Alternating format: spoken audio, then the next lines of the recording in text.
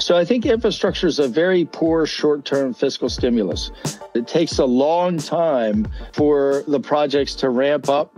The way to think about infrastructure is providing the foundation, the basic building blocks that you need for advanced economy for decades in the future.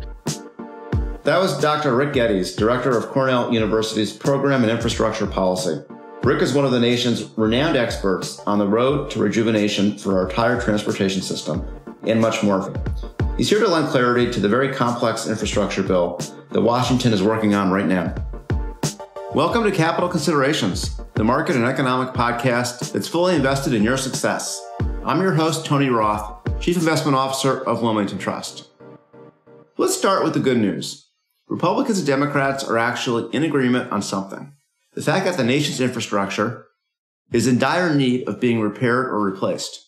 The not so good news, however, is that's pretty much all they agree on. To lend insight into how it will play out, what sort of deal and compromise will be struck, and how we foot the bill, we're joined today by Dr. Rick Geddes. Dr. Geddes is a professor of policy analysis and management at Cornell University and is director of Cornell's program in infrastructure policy.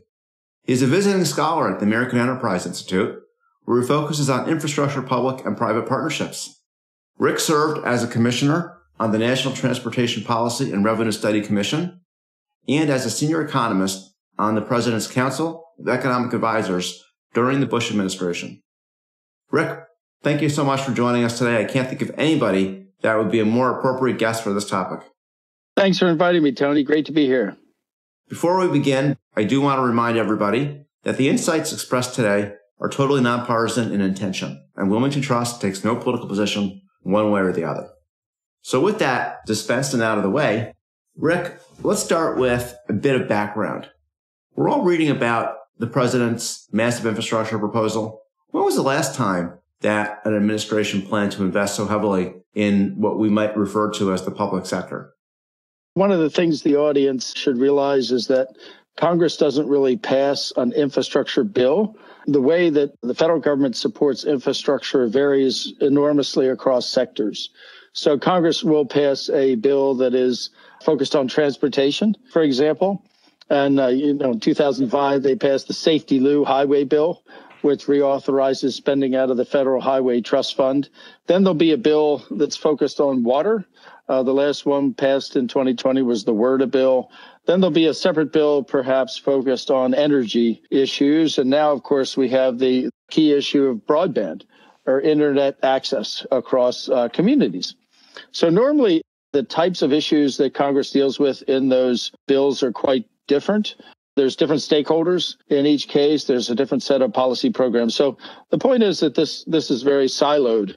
So you have to look at the, the specific sector to answer your, your question, Tony.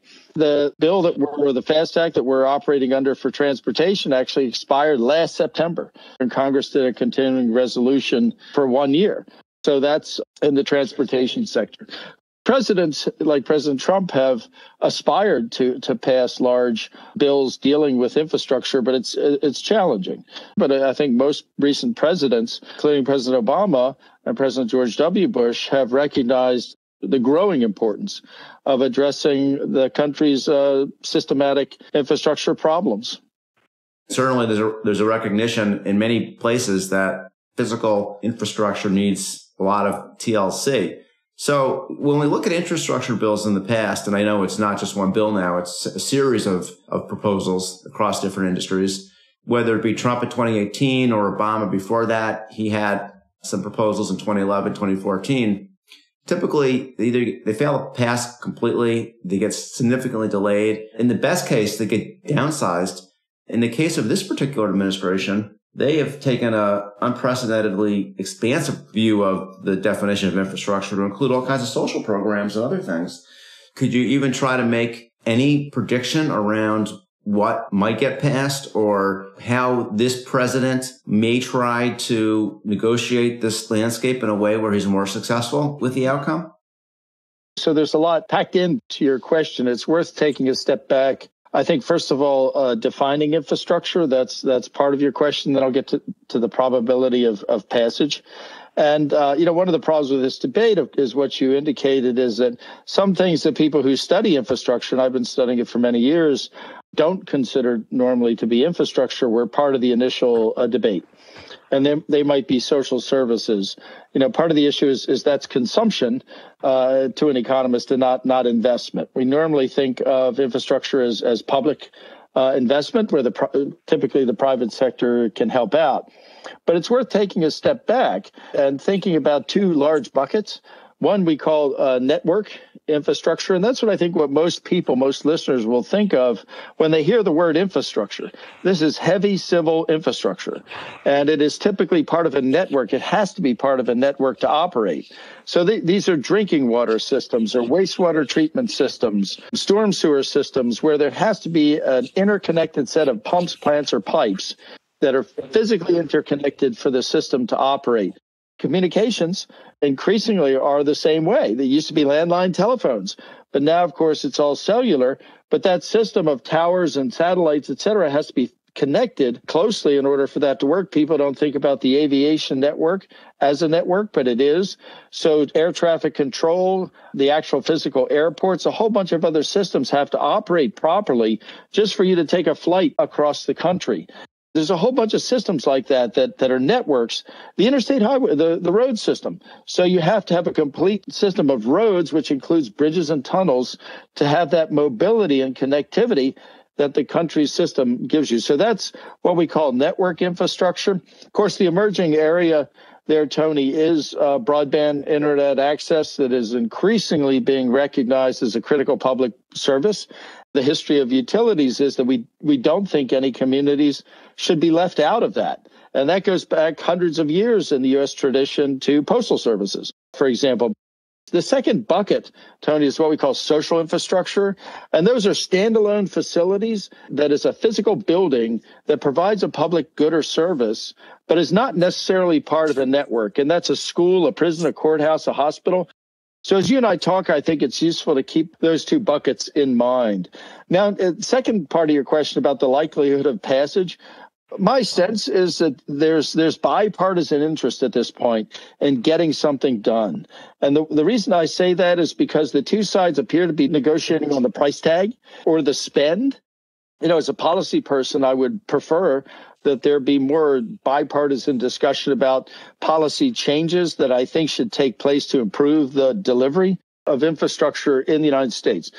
The president clearly wants a bill to be passed. He's been known as an infrastructure person for many years, taking the Amtrak from Delaware to Washington. And they're kind of negotiating over the spend. But I think this gets to one of the sticking points, Tony, and that, that is the pay for right? So, so you're either how are you going to pay for the improvements in the infrastructure? And it's useful there to think about three different buckets.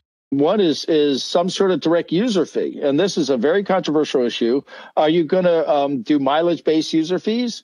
Which the state of Oregon has has led in shifting away from a per gallon tax on gas or diesel fuel to um, a per mileage user fee? Or are you going to raise gas taxes, which is in the spirit of a user fee, or raise diesel taxes in order to pay for a transportation bill? The second thing is, is there's a whole set of targeted taxes that are used to in some sense indirectly charge the, the beneficiaries of the infrastructure for those benefits and then use that revenue to pay for the infrastructure and then the third is is kind of what the administration proposed, which is raising an unrelated general tax to pay for the funding, not the financing, but the funding of the infrastructure. And the administration came out with a plan to increase corporate taxes. Now, to an economist, you would say, well, that's interesting, but corporate taxes are not related to the use of the infrastructure. It's not a user fee. So we like prices, rates, fees, you know, that we have used to fund utilities for centuries in the United States per kilowatt hour charge for electricity, per minute of cell phone, cents per dollar for water, whatever the utility is, right? The tension, I think, Tony, really at, at the congressional level is how are you going to pay for this? Let me unpack something which you've laid out for us that there is a difference between revenue that is sourced from the users of the infrastructures in some sense, the networks or the, the social infrastructure I suppose as an economist, there are conceptual advantages to having the people, the users, the actors that are engaged in the consumption of the infrastructure, the usage of the infrastructure directly paying. Explain to us why that is preferred, if it is. I mean, it's first couple of weeks of what you should get in a good uh, microeconomics class. It's a price. And so it's standard. Americans are, you know, used to this. If you go buy a dozen eggs and you eat the dozen eggs, you pay for the eggs. That's a user fee. The fee, the price, the rate is what forms the basis for a market. There's a whole series of benefits to relying on user fees instead of general taxes to fund. And again, I'm emphasizing the word fund instead of finance because that the confusion between those two things has bedeviled this debate. But one of the things that it does, the most basic thing, is it creates a reliable stream of revenue. Anybody participating in this, a fund, a financer, a, a road tolling company, et cetera, it's very helpful to know that you have a reliable stream of revenue into the future from user fees that are more predictable than say what Congress is going to do or what a state legislature is going to do in terms of a line item in their budget to pay for the infrastructure, you know, across time. If we're going to get the revenue, we're going to get the cash in order to maintain, to fix the potholes in the state infrastructure. What's the difference if it comes from that cash comes from people that are driving down that road or whether it comes from corporate taxes. The second reason, in addition to the, the notion that you can meter demand or, well, reliable revenue source, um, is fairness. So we call that horizontal equity. And this is, again, a familiar principle. It's that you pay for what you use, right? It's kind of built into our society. It's the same thing for paying for the infrastructure. So we could tax Amazon and we could tax Google and Facebook and everything else. But those taxes are really not correlated to use, which somebody could be paying those taxes, however the incidence of that tax falls. It has no correlation to their use of the infrastructure. And again, this is a principle that we accept in infrastructure funding for a whole bunch of different types of infrastructure, like electricity, communications, et cetera. So it's a fairness issue. What about appropriateness? In other words, let's say that you use corporate taxes to pay my electricity bill. And while part of my electricity bill goes to pay for the actual electricity, I think that the portion that goes to pay for the delivery, which is to say the infrastructure is even bigger than the actual electricity itself. And it would seem that there is some benefit in having a tightness between the source of the of the funding and the usage because otherwise you might get wastage or excess usage that's not really necessary, which would just needlessly wear down the infrastructure or consume it inefficiently. So, Tony, if I, if I understand your question correctly, you're getting at a really fundamental issue in infrastructure pricing. And it gets into a little economics, but it's marginal cost versus average cost. So the idea is that to send, say, a gallon of water through the, the uh, water system that's already built, which is the marginal cost to the cost of the next gallon, is very low. But the problem is you have to pay off this big fixed cost, which is the cost of installing the pumps, the plants, and pipes and putting them in, in the ground. The uh, different sectors have different terms for that institutional costs, overhead costs, et cetera. And it's really paying off those fixed costs. And how do you allocate those fixed costs across different customer groups? turns out to be a huge issue in um, in utility pricing. So uh, all I'll say here, uh, Tony, is that there's established approaches for addressing that problem, and that should not deter us from moving toward a system where users pay. So again, it's the funding issue uh, that I think is the underlying sticking point between the two sides to get back to your original question of the likelihood of passage. Yeah. So let's, and I'm not sure I get a very good grade in your class, but let, let's get to, so just give us the bottom line at this stage. And we're not going to hold you to it. We understand it's pretty early. What do you think will happen? Does this strike you as a bill that they're going to get to yes without going through reconciliation and trying to jam something down the Republicans' throats? Or do you think that the latter is ultimately the default? What do you, what do you think will get done? I really think that something will get done, Tony. I, and I think it'll cross sectors. I think it, it will have a different flavor uh, in transportation. This is a good time for Congress to do reauthorization of highway spending.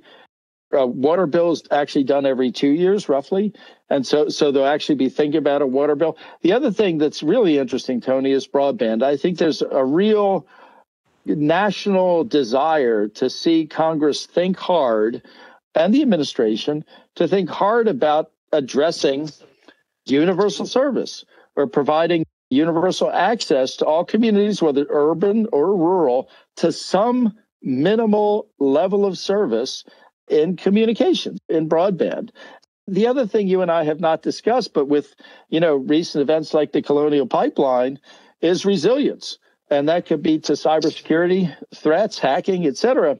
And so there's all these forces that are coming together where I think the people of the country really want to see Congress do a good job on a series of bills. I'm optimistic. So when you talk about one of the things that you've raised that I've caught a few times here is, and I'm sure our listeners have too, is that you've referred to what you're denoting as infrastructure that we all know is owned by private companies, like the Colonial Pipeline, like the cell towers, like the wires in the ground that carry internet. And are we talking about the government giving handouts to private companies so they can make more money? Are we talking about the government partnering with private companies? How does that ecosystem actually play effectively? And it strikes me as something that would be very rife for potential abuse by private companies to tap into that, that public funding source, perhaps. But how does, how does that all come together? And I know that yeah. the intersection of public and private is one of your primary areas of research and, and focus. Yeah. So that's a great question, Tony. I recently saw some calculations on this. So most of the stuff that, that I think people think of when they think of civil infrastructure, drinking water systems, again, wastewater treatment system, roads, interstate highways, et cetera, are not owned by the federal government they're not owned by private companies. They're owned by state and local governments. So that means that the state and local government is responsible, you know, for taking care of them, for the operation and maintenance. Certainly, there's a lot of infrastructure in the United States that's private. Freight rail, right? Uh, the freight, the big freight rail uh, companies are obviously private. Investor-owned utilities, IOUs, generate a lot of the electric power that we use, particularly that's not hydroelectric uh, sourced uh, power you know, t- telecommunications. For a lot of the stuff that I think people are, are most worried about in terms of uh, poorly maintained, you know, potholes, uh, slow technological adoption. That's another big issue is technological change. It's the state and local government, and it would have to be to get to your question, a private company interacting through some sort of a contract, typically a long-term contract with a private company. And so that gets into, a, as you said, one of my areas of research called public-private partnerships, which is really just a fancy term for a long term contract between a public infrastructure owner, such as a state or local government, and a private company. And this is what is done around the world in terms of improving the delivery of infrastructure. And delivery includes the whole thing design, construction, operation, maintenance, financing, upgrades, permitting, all these things. And so there's a whole bunch of improvements that I think the United States could make in terms of better partnerships between these state and local infrastructure owners and the federal government. So, without getting too technical, one of the terms that I remember from law school myself in contracts are whether you know a contract is a fair contract is does it reflect an arm's length negotiation, the price that is. And so when you look at generally the participation of the private sector in this multifaceted infrastructure world, do you find that the prices or the arrangements that are agreed to are do reflect an arm's length process, or do you find that that's one of the problems that you have companies that have been dominant and have cozy relationships with municipalities and such and are able to essentially hold hostage communities or governments either explicitly or implicitly through their relationships to take advantage here. Is that an abusive problem that, that we need to worry about when, when the private sector gets involved? Or are we just always better off with the private sector involved because they're so much more efficient than the public sector? Yeah, it's a great question, Tony, and absolutely we, sh- we should be concerned about that, right, at all times. And that's particularly true because a lot of the state and local infrastructure owners in the United States are small, right? So that's one unique thing about our country. As we know, there's a lot of small towns, uh, municipalities. So, Tony, I've suggested and others have suggested a number of ways for dealing with that. The other problem, of course, is some of the projects in these small towns are so small that they don't attract the attention. They don't attract bids from big companies. So one of the things I've advocated, Tony, is bundling. And this is bundling projects together that are similar into one large project proposal that is put out for bid. My favorite example is the Pennsylvania Rapid Bridges Project, where the state of Pennsylvania, as you may know, has a lot of low use rural bridges that go over rivers and streams that are kind of old. They bundled together 550 of those bridges into one big project proposal and bid it out. And they, of course, multi billion dollar proposal, they got interest from companies around the world, uh, which allowed the state to replace and repair those bridges much faster than if they went individual bridge by bridge. So that's a case where you, you bundle that together. That's one solution. Let's get back to the main event here, which is the bill on the table. And certainly one of the really interesting and novel aspects of this bill, which is, which is headline grabbing, is that it does have this big green energy component to it. So it has, for example, you know, taking out the gas station and putting in a charging station or something like that, right? On all the street corners in America. What's your take on that? What are the, the most interesting or important takeaways from this big green emphasis in this particular infrastructure bill in, in your mind, Rick? Yeah, again, a very, very good point, Tony. So that's actually an interesting shift, I think, that's taken place, bipartisan shift in infrastructure delivery, if you will. And that is a focus on new technologies, but also a focus on more renewable, uh, environmentally friendly, as you say, green technologies. That can include wind. Of course, it can include solar. It can include geothermal energy. And it can also include technologies that improve efficiency of infrastructure uh, delivery. Solar cells on the top of a gas station, for example, et cetera. And there's, there's a lot of incentives there have been historically, you know, to improve the adoption of these sort of non-fossil fuels to power the the electric grid. The, the flip side of that, Tony, of course, is is encouraging more electric vehicles, right? EVs. So there's a big emphasis on charging stations in the original proposal, right? At you know, helping again the state and local folks who own the infrastructure, you know, to install charging stations. There's a whole lot of very interesting things that that brings up there's a lot of, by the way, big uh, technological revolution going on as we speak in powering vehicles, getting away from fossil fuels.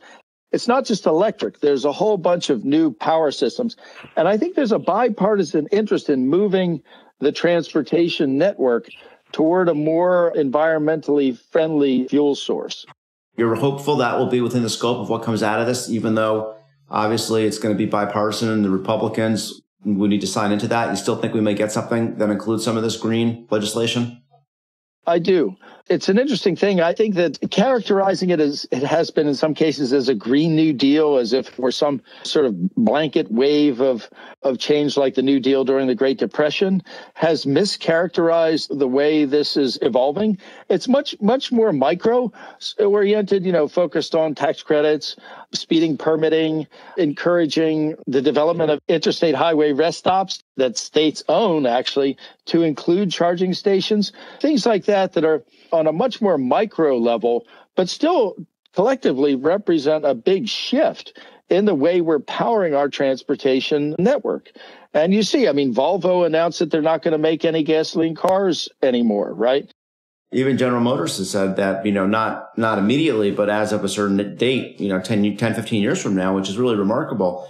I've had a Tesla on order for about six months now and they can't get the car to me. But the only silver lining maybe is by the time they can get the car to me, and it's literally been on order for six months now, maybe I'll get a $10,000 tax credit for, for buying that, that car, right? It does highlight, I think, an issue that's worth a little bit of conversation, which is the timing of all this. So even if we do get a package, we just had a very weak labor report. It came in much lower than expected. And we think that the reason is supply What do you think about the economic impact of a reasonably sized deal over the next year or so? Is it going to take so long to get these projects going and find the right people to supply the, the labor that this is going to be a long-term benefit to the economy that we're not really going to see a quick uptake? Or should we think about it differently? So that's a, good question, Tony. So, so, this gets to one of the, the points I always try to make when referring to infrastructure. So I think infrastructure is a very poor short-term fiscal stimulus. And it is so for the reasons you just mentioned. It takes a long time for the projects to ramp up and actually get into full swing. The second point is that if any anyone who visits a site on a major infrastructure project today, I think would be surprised at how automated it is. It's not 1956 where people are carrying, you know, rebar on their shoulders out to the to the interstate highway site. It is highly automated. And you would I think be surprised at how much work a small crew of people can get done on a modern bridge, tunnel or road project. It's very sophisticated. If you want to generate employment, it's not a good short-term stimulus. There's other ways to do fiscal Keynesian stimulus.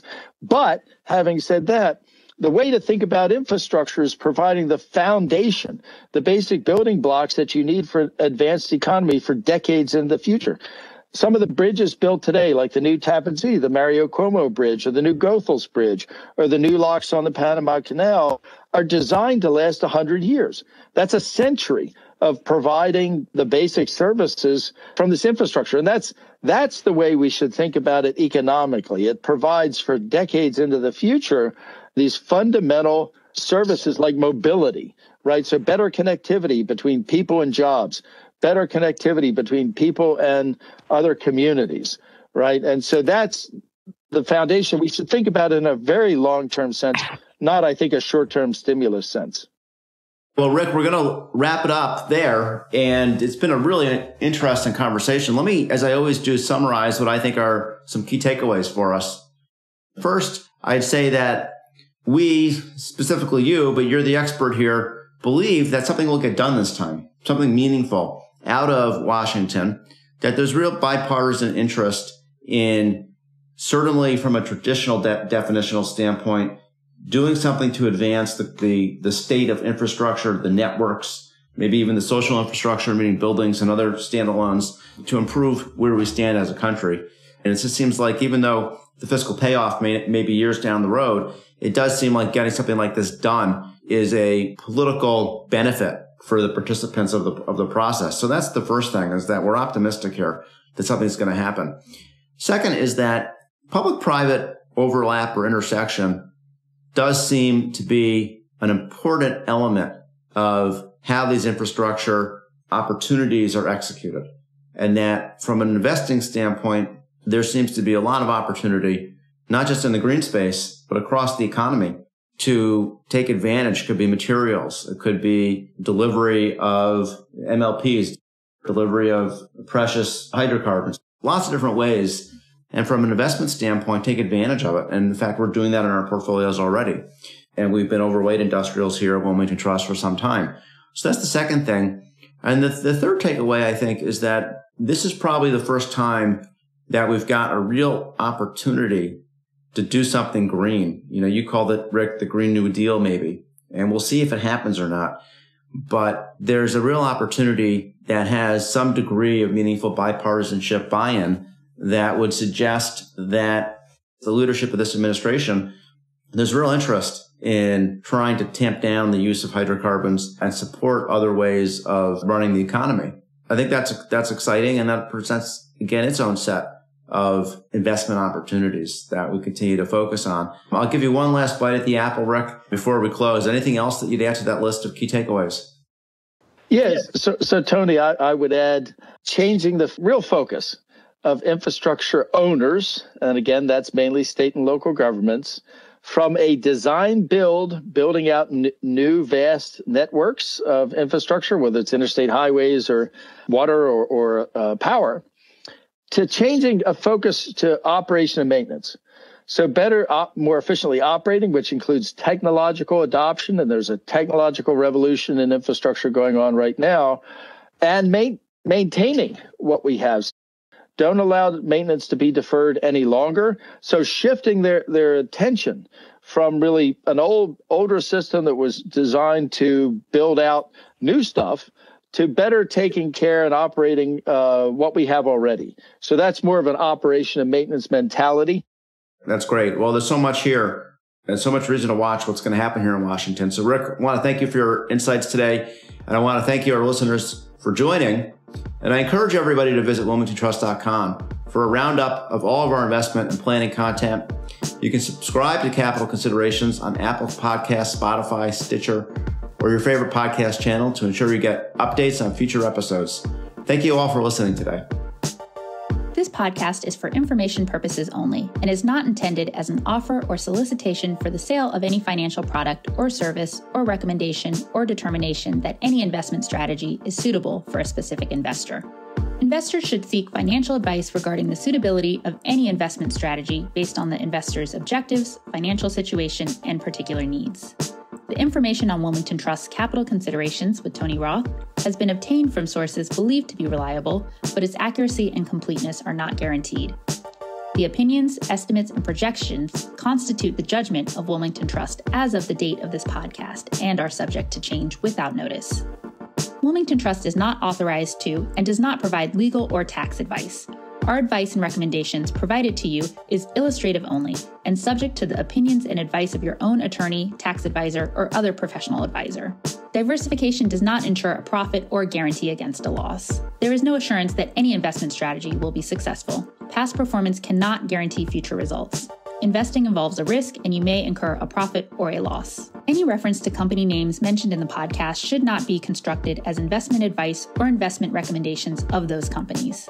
Facts and views presented in this report have not been reviewed by and may not reflect information known to professionals in other business areas of Wilmington Trust or M&T Bank, and may provide to seek to provide financial services to entities referred to in this report.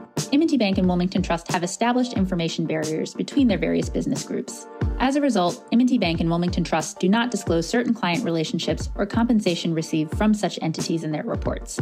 Investment products are not insured by the FDIC or any other governmental agency, are not deposits of or other obligations of or guaranteed by Wilmington Trust, M&T Bank, or any other bank or entity, and are subject to risk, including a possible loss of the principal amount invested. Wilmington Trust is a registered service mark used in connection with various fiduciary and non-fiduciary services offered by certain subsidiaries of M&T Bank Corporation, including, but not limited to, Manufacturers and Traders Trust Company, M&T Bank, Wilmington Trust Company, WTC, operating in Delaware only, Wilmington Trust NA, WTNA, Wilmington Trust Investment Advisors Inc., WTIA, Wilmington Funds Management Corporation, WFMC, and Wilmington Trust Investment Management LLC, WTIM. Such services include trustee, custodial agency, investment management, and other services. International corporate and institutional services are offered through M&T Bank Corporation's international subsidiaries. Loans, credit cards, retail and business deposits, and other business and personal banking services and products are offered by M&T Bank, member FDIC. 2021 M&T Bank Corporation and its subsidiaries, all rights reserved. Private market investments are only available to investors that meet the U.S. Securities and Exchange Commission's definitions of qualified purchaser and accredited investor.